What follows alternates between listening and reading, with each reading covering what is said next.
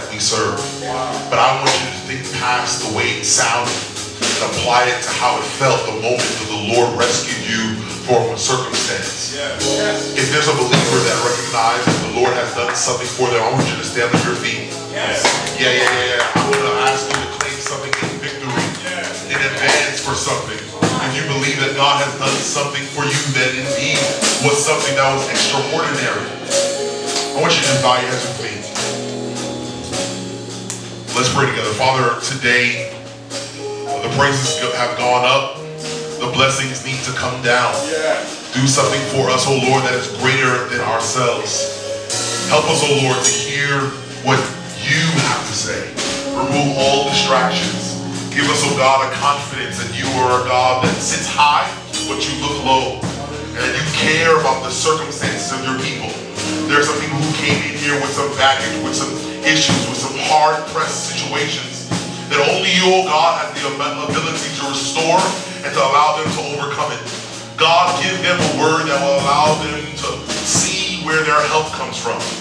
Give them a confidence of knowing what their identity is. And then when it's all said and done in the end, let us leave here saying it was good to be in the house of the living God. Yeah. Grant us these things in Jesus' name.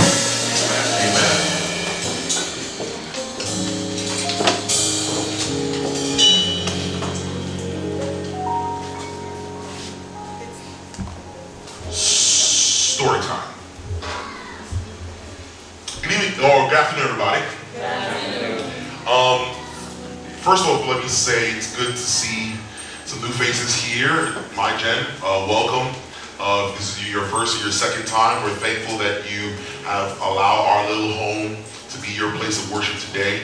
And uh, you, you might hear something uh, going around, this little word is called war. Uh, and let me just let you know, uh, let me keep you in on the little hidden secret. Uh, my Gen, we are a church at war. And what that means is we are a church that wants to welcome you, to affirm you, and to recruit you to the kingdom of the Lord. Amen. And so if you have a member of my Gen that have not has not welcomed you yet, has not affirmed you yet, has not found a reason to recruit you, please report them and their name to me by the end of today because we are in a culture of uh, building up the kingdom of, of God, not just um, the, the, the, members of the church, but just building up the, the souls for the kingdom uh, of the Lord. Uh, for those people who also, if this is your first time here, uh, we are a church that are is really into the studying of the Word of God. We really like to study our Word, and so we are actually in this uh, series where we've been looking at the book of Hebrews. And today we're actually looking at, if you can believe this, if you can believe when we started this book of Hebrews, we're actually coming up to the end. Today and next week will be the end of our Hebrew series. And we're looking at finally the final uh, bits and portions of uh, the study. And so we pray that it was been, for those who have been here, who've been listening to it, who has been a blessing to you. And we pray that if you are just jumping on to this road, that hopefully you, you won't get lost. And we'll try our best to try to get you up to speed as to where uh, we are right now. Before that, let me uh, give you a story uh, to kind of set some uh, context into where we are. Hopefully this works. I don't know if it does or if it doesn't. Uh-oh. Oh, oh, oh, okay. Oh, okay, wonderful. Word, wonderful. Story time. So there was a um, there was a missionary who went to uh, a country where they did not see people uh, of a particular hue. And when they when the the, the missionary got there, uh, there were a lot of children playing, and there were a lot of people doing their day-to-day -day business. And this one missionary uh, saw a, a, little girl uh, playing in the field.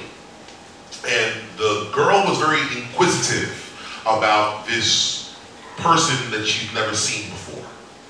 And uh, the missionary was trying to gain glances at the girl, trying to find a way, an excuse for them to play, sort of a way to uh, soften his approach to, to her. And every single time she would look at him and she would kind of laugh, thinking that he's making funny faces. And every time she would turn back to her mother as her mother's watching and sort of get an affirmation from her mom. Is this okay? And, her mom would kind of give her a look saying, yeah, it's okay, keep going. And she would, okay, and she would turn back to the missionary and they would continue to keep trying to um, pass off, you know, external exchanges of communication. And lo and behold, within five minutes, a, a relationship that was not even created was now um, built up to this wonderful playing um, intercourse. To the point that now uh, uh, the girl who was once playing in the field is now right in the missionary space as they're playing and as they are running and as they're enjoying each other's company.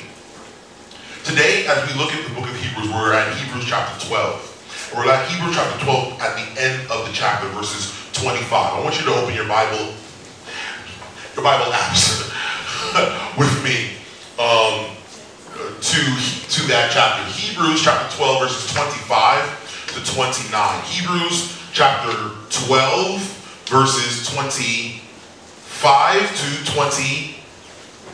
Nine. When you have it, say amen. amen. For those who don't have it, praise the Lord. The Lord is good. It's all straight. Bible says, see to it that you do not refuse him who speaks. Ooh, Paul, you're, you're being very bold here in your declaration here in this final part of this chapter. If they did not escape when they refused him who warned them on earth, how much less will we if we turn away from him who warns us from heaven? At that time, his voice shook the earth. But now, he has promised, once more I will shake not only the earth, but also the heavens. The words once more indicate the removing of what can be shaken, that is, created things, so that what cannot be shaken may remain. Therefore, since we are receiving a kingdom that cannot be shaken, let us be thankful and so worship God acceptably with reverence and awe, for our God is what? Is a consuming fire. Here's this bold conclusion that Paul is wrapping up in this whole dissertation that he's giving to people who don't believe that Jesus is the Messiah. He's coming to this conclusion saying, okay, we just finished this whole thing about faith. We talked about how Jesus was the, the high priest by the order of Melchizedek, how he, he works in the heavenly sanctuary that patterned the earthly sanctuary that you Hebrews appreciate, how he is God that turned man for our sake, and that by faith we have a connection to him and thus are partakers of this wonderful promise that he has done for us. All of these different things. Now that I've brought to conclusion this idea, please don't refuse him who speaks. Please don't refuse him. If they did not escape, who's the they? Your forefathers. If your forefathers did not escape, did not escape when they refused him who warned them on earth, how much less will we if we refuse what is being said here today. Remember, those the people, those days were the people who weren't able to enter into the kingdom of God because of their lack of faith. Faith was the key in order for them to enter into the kingdom of God, into the promised land. And because of the spies that they sent in and the report that came back to them, they were a little weary about what they heard, and so they left. Remember, the, the journey from Egypt to the promised land was one week.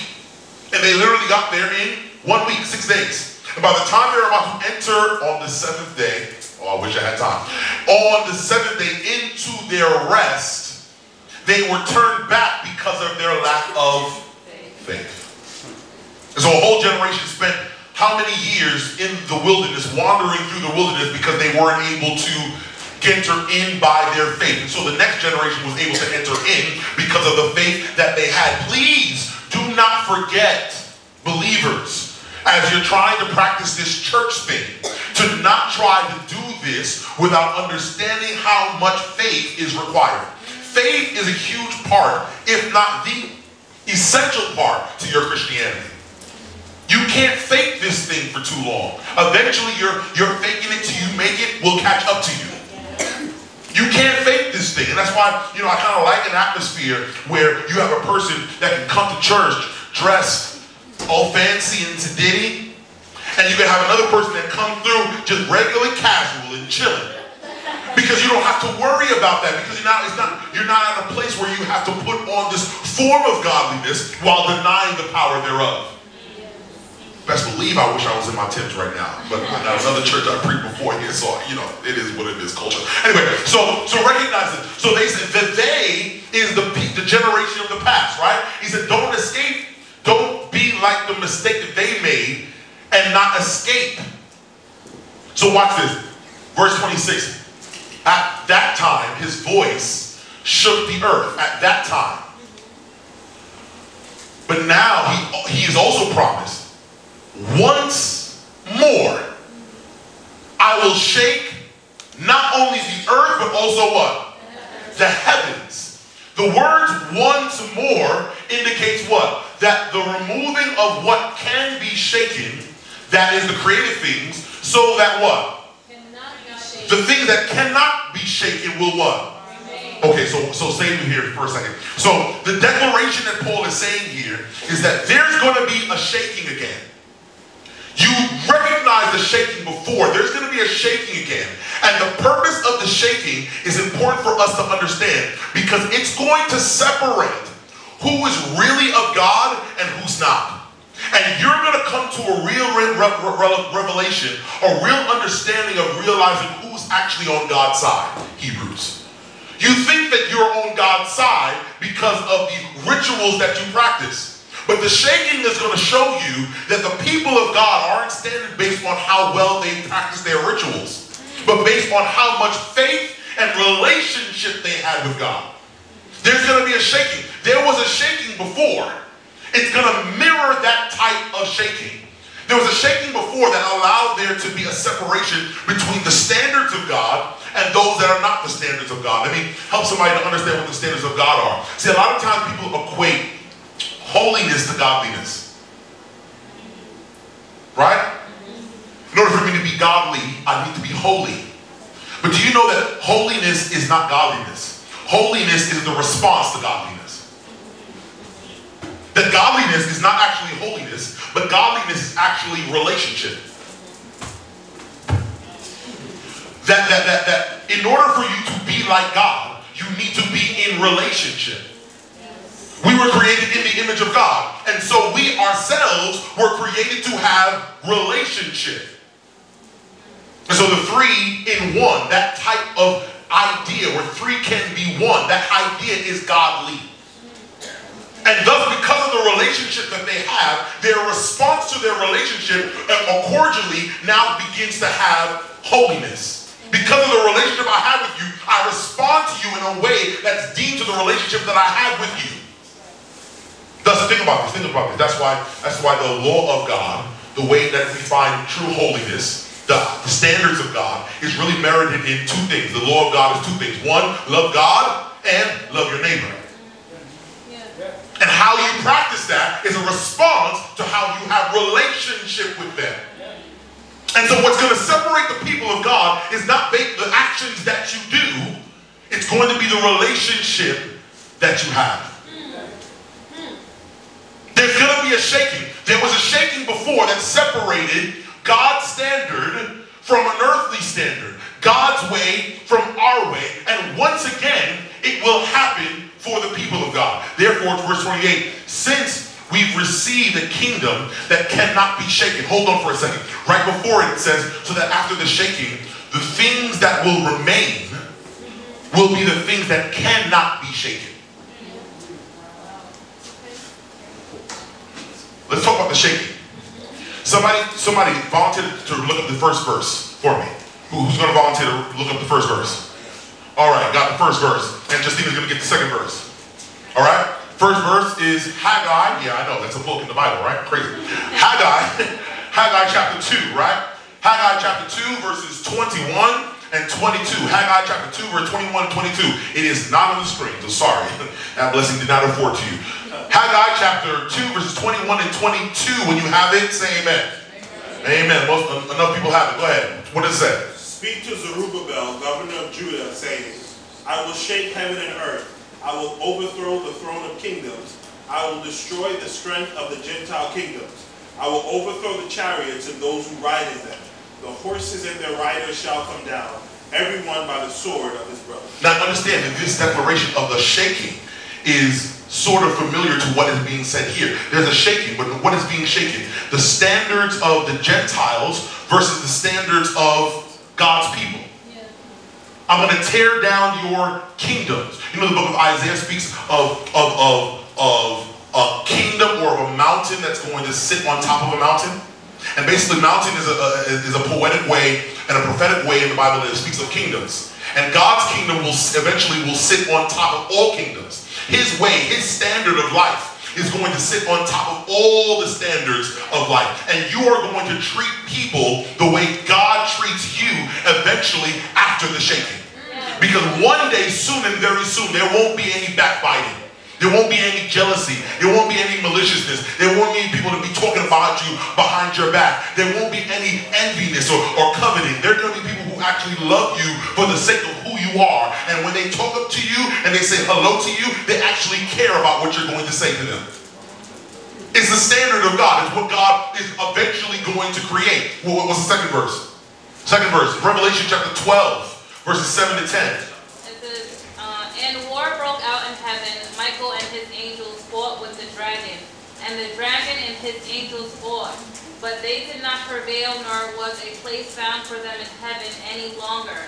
So the great dragon was cast out, that serpent of old, called the devil and Satan, who deceives the whole world. He cast, he was cast to the earth, and his angels were cast out with him. Then I heard a loud voice saying in heaven, now salvation and strength in the kingdom of our God and the power of his Christ have come, for the accuser of our brethren, who accused them before our God day and night, has been cast down. Watch this, watch this, watch this. Hold on for a second. Question to some, some faithful churchgoers. When does this happen? In the beginning. In the, the beginning. When, when, when in the beginning? Like the very, very beginning. So the war that happened in heaven where Satan was cast down, you're saying is at the beginning of time. Before the earth was created. How many people believe that? If you believe that, raise your hand. Some people are not going to raise their hand for the sake of just not being wrong. Some people are just like, you're going to preach it anyways. you're going to be caught out there. Better get messed up. Think about this. Think about this. Read verse 10 again. Then I heard a loud voice saying in heaven, Now salvation and strength in the kingdom, kingdom of our God and the power of his Christ have come. For the accuse of our brethren who accused them before our God day and night has been cast down. Now, question, question, question. Is verse 10 a, a, a, response to the action that happened in the casting down? Would you would you would you say that? Like in other words, now we have salvation. Based on what? Based on the fact that somebody was cast out. Would we say that? Yes or no? No. Why not? Because, I mean, we got salvation through Christ. So. Right. So when he died and the sacrifice, that's when we got salvation. And so then the better question then is, if we got salvation when Christ died, then technically the war in heaven didn't happen in the beginning of time. It happened when Christ won the victory. Yeah. What? Think about this. Why would I be saved before there was sin?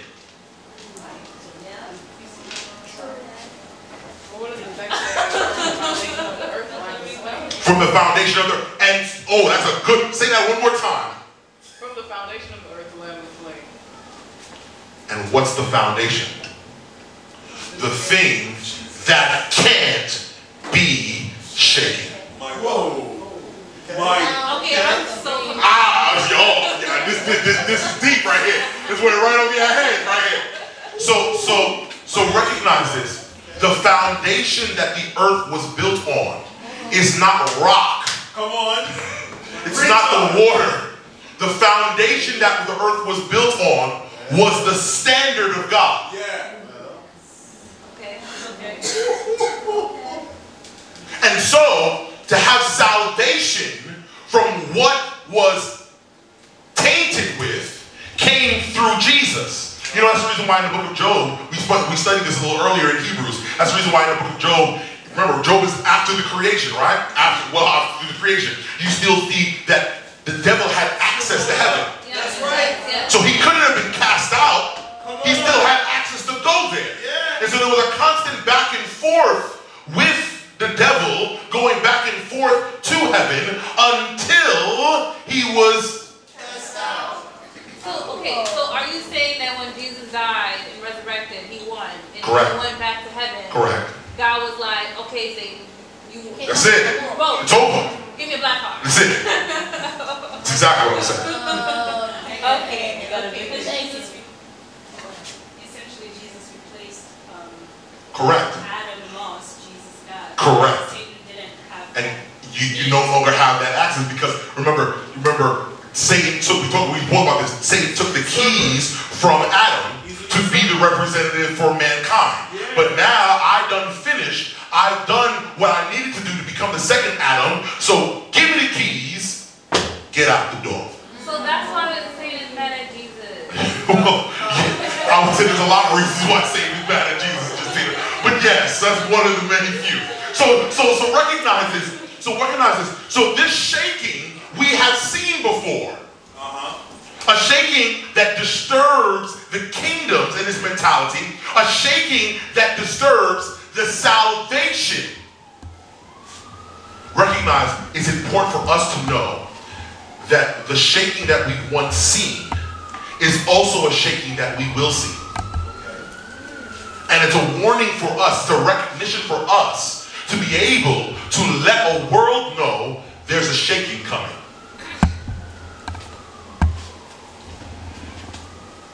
Let me tell you what I'm I, I got really, really upset with the church about.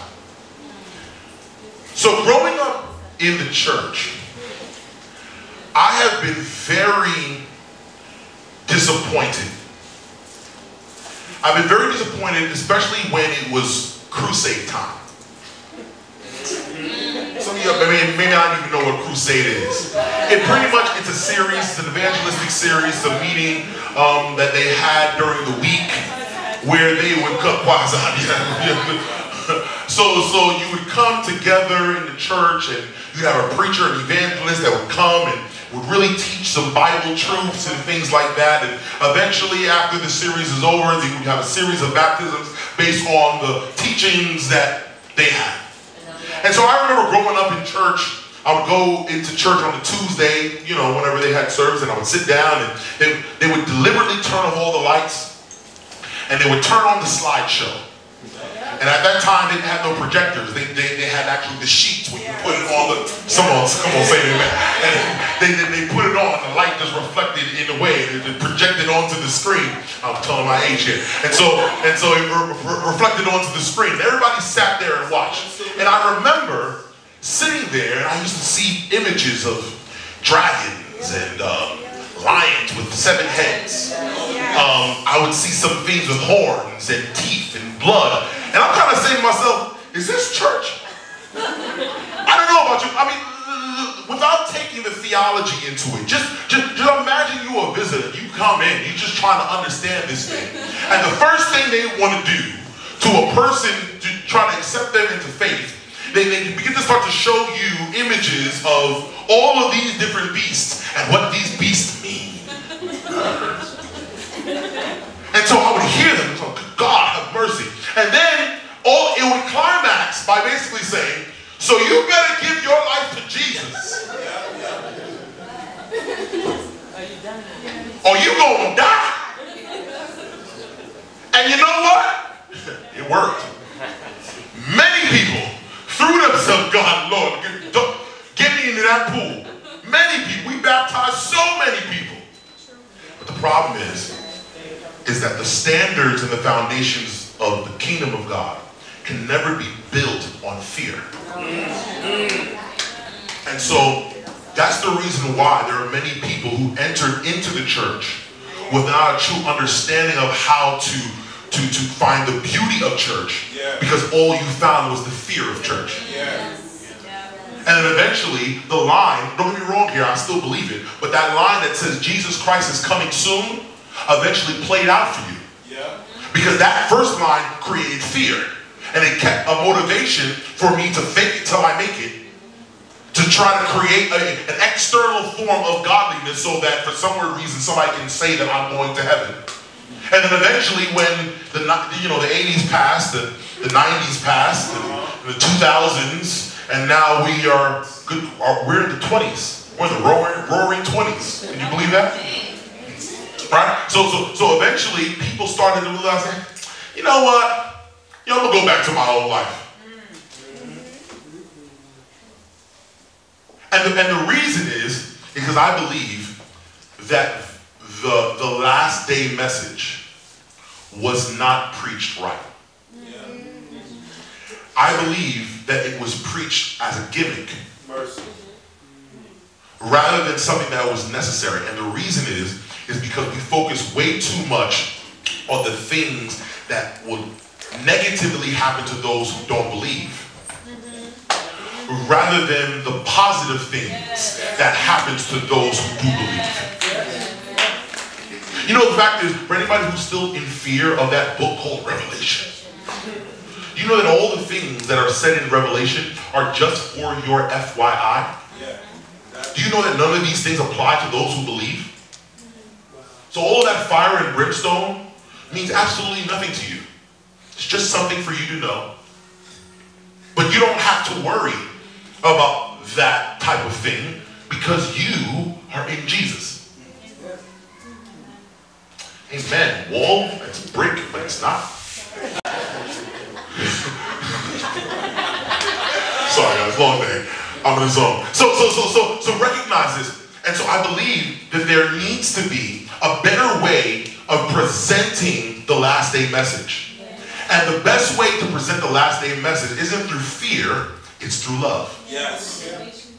And so it's through the relationship that one has with God and one has with people that you prepare yourself for the last days. You know the reality is, is that many of us, we don't, we've never been taught, we've been taught all, a whole lot of things, but church has never taught us how to have a relationship with God. Right. Literally how to be open, how to cry out to God. When is the right time to ask and to not ask and these type of things. There's not there's never been an example of proper godliness. Mm-hmm. Again, godliness is relationship that produces holiness. There's never been a right form of godliness in church. And so for a last day church, it's important for us to set the example of what the, the, the, the, the earth was created on, and that's relationship.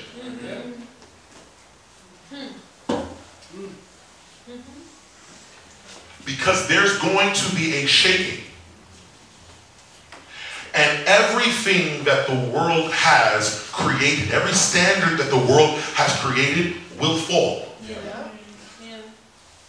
To only keep what is remaining, the thing that cannot be moved. Somebody read this um, quote from my girl Ellen. Bishop, please. The people of the world Girl. are worshiping false gods. They are to be turned from their false worship, not by hearing denunciation of their idols, hmm. but by beholding something better. Wow. God's goodness is to be made known. Ye are my witnesses, saith the Lord, that I am God. The Lord desires us to appreciate the great plan of redemption Wow. to realize our high privilege as the children of God, and to walk before him in the obedience. Based on the relationship, now we can walk in obedience. Amen. So, so recognize this, recognize this. My girl Ellen puts a nice little spin and, and really articulates this point here. That the world will not be changed based on you calling them out for how in which they live their life. Right. Yeah. Right. Yes, yes, yes. You are wrong. You're doing this wrong. You're doing that wrong. All this wrong, wrong, wrong, wrong. They're never going to change. They're not going to be changed based on you telling them about their false idols. They're going to be changed by beholding something better. Yes. Amen. Praise God. God's goodness. This is not me talking. This is this is my girl Ellen. My girl Ellen says, God's goodness is to be made known. Don't, don't let that, don't, don't let that be too lofty. Bring that down. God's goodness is the thing that needs to be made known. Right, right. Not those seven head, yeah, heads. God's goodness is to be made known. Ye are whose witnesses?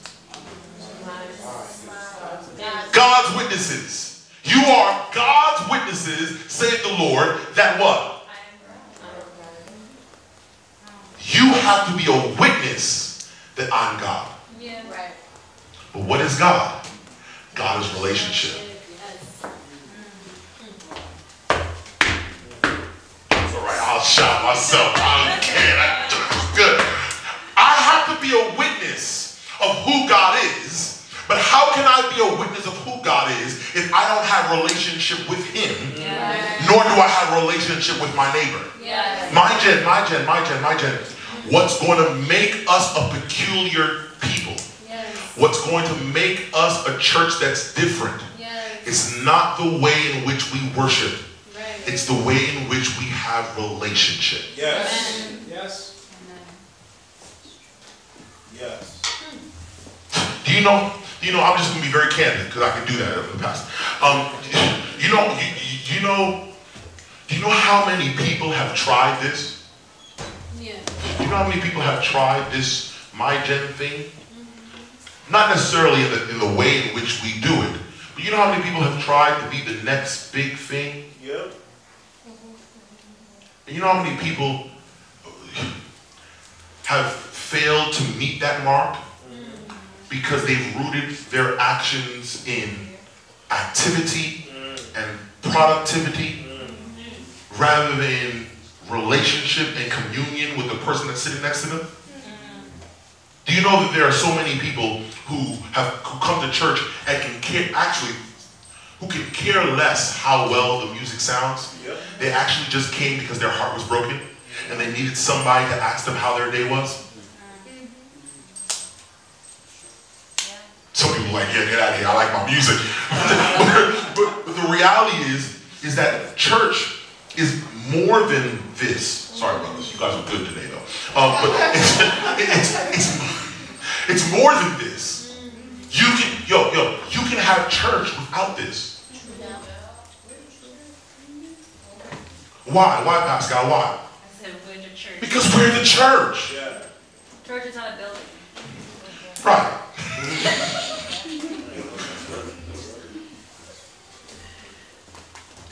Last thing I'm out of here. Last thing I'm out of here.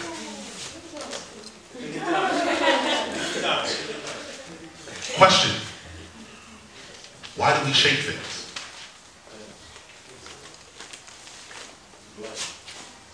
We don't like them. Mix it up a little bit. Mix it up. Don't like them. For best results. You Best results. It's a cul- it's a cultural thing, you know? It's a mix. thing. It depends on what you're shaking. It depends on what you're shaking. You're a teacher. I can see that. It's true. It depends on what you're shaking. Stefan said because we're in Harlem. So you cut the beard. Oh, good lord, have mercy. I, I just noticed that. Oh, you look a lot, you look a lot younger.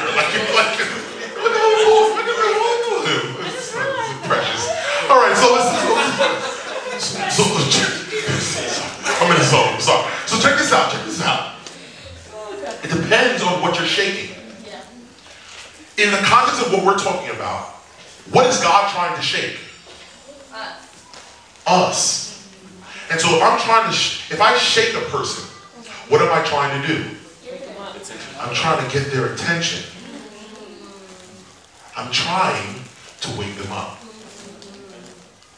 The shaking is waking a people up and surprising them with your love. You know how you are going to be my peculiar people, especially in this city, especially in this community, is to love people. In a city that will curse you out, God has called for you to love people. God has called for you to care about their circumstances. God has called for you when the benediction is done and we're ready to eat to stick around and have conversation with people. Amen. Amen. Because Psalms 62, last verse, last verse. Psalm 62. Just giving you text here, just giving you text. Psalm 62, verses 5 and 6. Somebody read it for me. Psalm 62, 5 and 6. Real quick, real quick, real quick, quick, quick, quick. Help me try to, try to land the plane. Psalm 62, Psalm 62. My soul, wait thou only upon God, for my expectation is from him. Mm-hmm. He only is my rock and my salvation. He is my defense, I shall not be moved. Can somebody read it in the NIV? Yes, my soul finds rest in God. My hope, uh, my hope comes from Him. Truly, He is my rock and my salvation. He is my fortress. I will not be shaken. And so the fact is, is that when you're standing on the rock,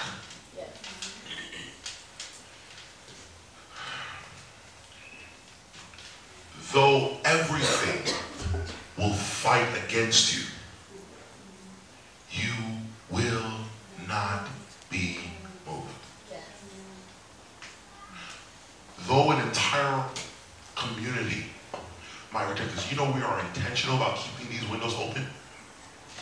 Do you know as a church that we don't care about how many people come and see us in worship? We are enthusiastic about them seeing us in the middle of our worship. We have to be a people that's confident on where we stand. And so this last day message is simple.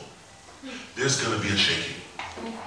And the kingdom of God will be established. And it will be established based on the love that we have for one another. And how we treat people based on the love we have for them. The question for you today is, do you love people the way you should? If the shaking comes today, where would you stand?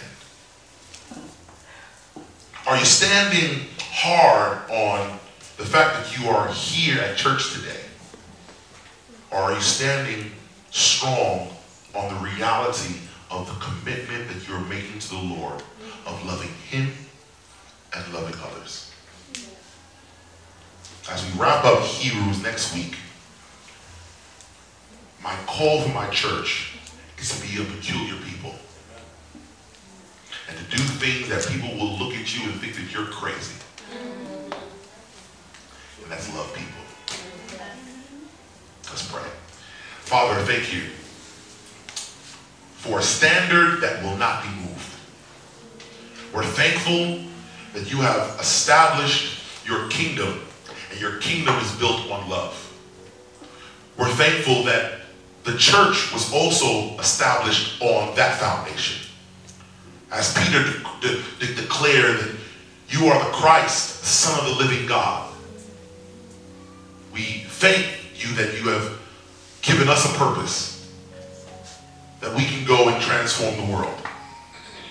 We pray, Lord, that this decree, this reminder of a shaking, would be a, a call for us to wake up, to play, plant our feet on solid ground, to reflect godliness. That's not holiness, but relationship. That through that relationship will produce holiness. Do for us, oh God, the things that we need and keep our names in the Lamb's Book of Life. Pray for someone here who has not made a decision all the way to accept you, that they would find a reason for them to choose you. Make them uncomfortable, God. Help them to be called to come and talk to somebody, come to see me, see any one of the leaders, and make a decision for their life. Some people who backslide, some people who just turned away from you because the way in which you were presented was out of order. God, I pray that they don't send the baby out with the bathwater.